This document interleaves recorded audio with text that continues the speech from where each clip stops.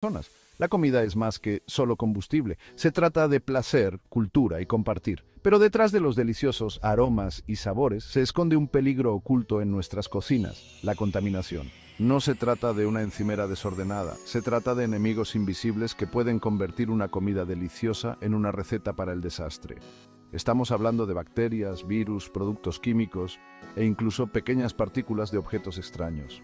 Estos contaminantes pueden colarse en nuestros alimentos, multiplicarse y causar enfermedades transmitidas por los alimentos. Los síntomas pueden variar desde un leve malestar estomacal hasta problemas de salud graves, incluso la muerte. El mundo culinario, por mucho que lo amemos, es particularmente vulnerable. Manejamos ingredientes crudos, usamos varios equipos y, a menudo, trabajamos en entornos acelerados. Todos estos factores aumentan el riesgo de contaminación, pero no se asusten todavía. El conocimiento es poder y comprender los riesgos es el primer paso para prevenirlos. Remanguémonos y aprendamos a mantener nuestras cocinas seguras y nuestra comida deliciosa. Hablemos de los culpables pequeños pero poderosos. Bacterias, virus, parásitos y toxinas. Estos villanos microscópicos son responsables de la mayoría de las enfermedades transmitidas por los alimentos. Son invisibles a simple vista, lo que los hace aún más peligrosos.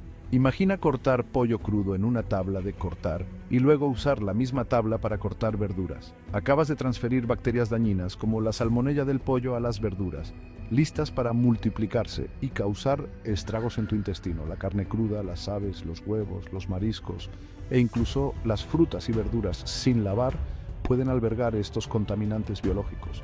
Una vez dentro de nuestros cuerpos causan estragos y provocan síntomas como vómitos, diarrea, fiebre y cosas peores. ¿Recuerdas esas historias sobre brotes de intoxicación alimentaria? La mayoría de las veces estos pequeños organismos son los culpables, convirtiendo una comida feliz en una pesadilla. Ahora pasemos a los invasores silenciosos, los productos químicos. Estos pueden ser de origen natural o artificiales y pueden introducirse sigilosamente en nuestros alimentos en varias etapas. Piense en los pesticidas que se usan en los cultivos, los agentes de limpieza que quedan en las superficies o incluso ciertos tipos de utensilios de cocina que filtran metales a los alimentos. Imagina usar un producto de limpieza fuerte para desinfectar una superficie y no enjuagarla correctamente. Los residuos pueden contaminar los alimentos que entran en contacto con esa superficie. O piense en almacenar alimentos ácidos en un recipiente de metal reactivo, filtrando metales no deseados en su comida. Estos productos químicos, incluso en pequeñas cantidades, pueden causar una variedad de problemas de salud, desde reacciones alérgicas inmediatas hasta enfermedades crónicas a largo plazo pueden interferir con nuestras hormonas, afectar nuestro sistema nervioso e incluso aumentar el riesgo de ciertos tipos de cáncer. Lo que da miedo es que a menudo no vemos ni olemos estos contaminantes, lo que los hace aún más insidiosos. Pero no se preocupe, exploraremos formas de minimizar la contaminación química más adelante. Sección 5.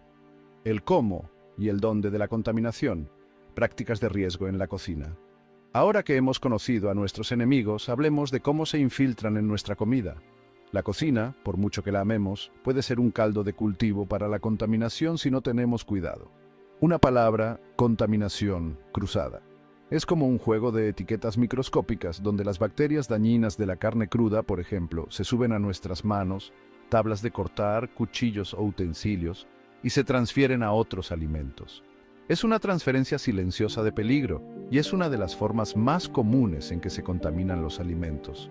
Luego está la zona de peligro de temperatura, el punto óptimo entre 40 grados Fahrenheit o 4 grados Celsius y 140 grados Fahrenheit, o 60 grados Celsius, donde las bacterias se multiplican rápidamente. Dejar alimentos perecederos a temperatura ambiente durante demasiado tiempo es como organizar una fiesta en la piscina para bacterias. Necesitamos mantener los alimentos calientes calientes y los alimentos fríos fríos para frenar el crecimiento bacteriano y mantener nuestros alimentos seguros. Sección 6. Zona de peligro de temperatura. Un caldo de cultivo para bacterias. Profundicemos en esta zona de peligro. ¿De acuerdo?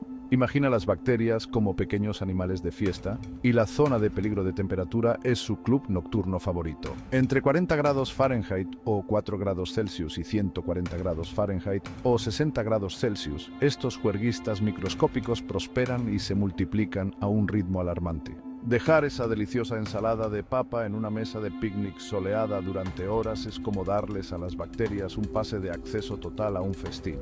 Cuanto más tiempo permanezcan los alimentos en este rango de temperatura, más tiempo tendrán las bacterias para proliferar, aumentando el riesgo de enfermedades transmitidas por los alimentos. No se trata solo de picnics al aire libre. Piense en enfriar una olla grande de sopa. Dejarlo enfriar lentamente en el mostrador es un gran no-no. La sopa permanecerá en la zona de peligro durante demasiado tiempo, lo que les dará a las bacterias tiempo suficiente para multiplicarse. La clave es minimizar el tiempo que los alimentos pasan en esta zona de peligro. Hablaremos sobre técnicas seguras de enfriamiento y recalentamiento más adelante, pero por ahora recuerde que el tiempo y la temperatura son factores críticos en la lucha contra las enfermedades transmitidas por los alimentos. Sección 8. Contraataque. La importancia de la higiene personal. Seamos realistas, somos la primera línea de defensa en la batalla contra la contaminación alimentaria. Nuestra higiene personal juega un papel crucial en la prevención de la propagación de bacterias dañinas. Recuerde, manipulamos alimentos, tocamos utensilios y trabajamos cerca de otras personas, lo que facilita que ocurra la contaminación. Lo primero es lo primero, lavarse las manos. Este simple acto es la piedra angular de la seguridad alimentaria. Lávese bien las manos con agua tibia y jabón durante al menos 20 segundos antes de manipular alimentos, después de tocar carne cruda, después de ir al baño y en cualquier otro momento en que pueda haber estado en contacto con contaminantes. Pero no se trata solo de manos. Mantenga las uñas cortas y recortadas, evite usar joyas mientras cocina y si tiene cortes o llagas, cúbralas con un vendaje impermeable y use guantes. Nuestro objetivo es minimizar el riesgo de que cualquier contaminante se nos pegue y termine en nuestra comida. Piénselo de esta manera. Cada vez que se lava las manos, está rompiendo una cadena de posible contaminación, protegiéndose a sí mismo y a todos los que comen sus alimentos.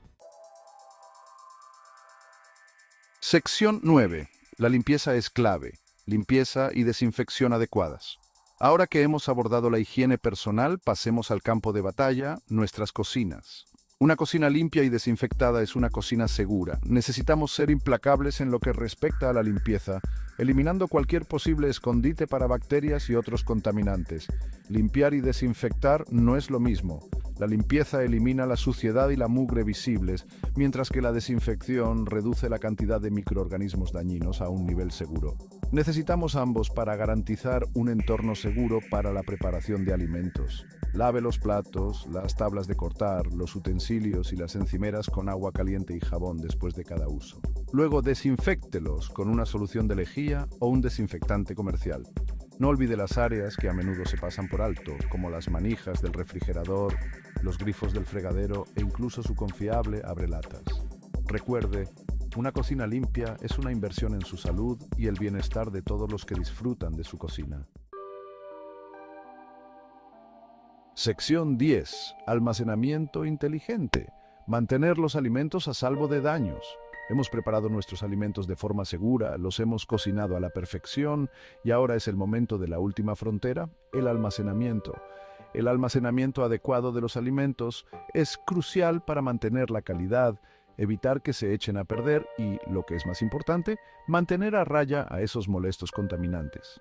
Primero en entrar, primero en salir esa es la regla de oro del almacenamiento de alimentos. Rote sus alimentos, almacenando los artículos más antiguos en la parte delantera y los más nuevos en la parte posterior.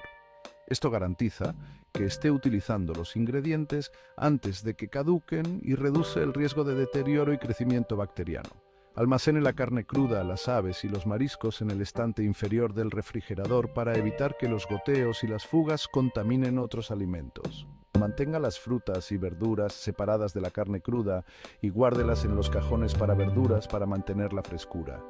Y por último, invierta en recipientes herméticos de buena calidad para almacenar las sobras y los ingredientes preparados. Esto ayuda a mantener la frescura, evita que los olores se transfieran y protege los alimentos de posibles contaminantes que acechan en su refrigerador. Sección 11. Cocinar con cuidado. Técnicas para comidas seguras y deliciosas. Ahora la parte divertida, cocinar.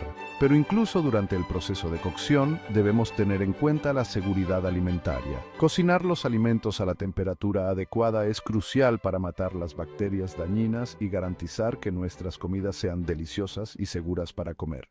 Invierta en un termómetro para alimentos de buena calidad y úselo con frecuencia. No confíe en conjeturas cuando se trata de temperaturas internas. Los diferentes alimentos requieren diferentes temperaturas internas para ser considerados seguros. Por ejemplo, las aves de corral deben alcanzar una temperatura interna de 165 grados Fahrenheit, mientras que la carne molida debe alcanzar los 160 grados Fahrenheit. Cuando recaliente las sobras, asegúrese de que alcancen una temperatura interna de 165 grados Fahrenheit para matar cualquier bacteria que pueda haberse multiplicado durante el almacenamiento. Y recuerde, siempre es mejor pecar de precavido. Siguiendo estas sencillas pautas, podemos disfrutar de los placeres de cocinar y comer sin preocuparnos de que invitados no deseados se cuelen en nuestra fiesta culinaria. Recuerde, la seguridad alimentaria es un viaje, no un destino. Sigamos aprendiendo, sigamos mejorando y manteniendo nuestras cocinas seguras y deliciosas.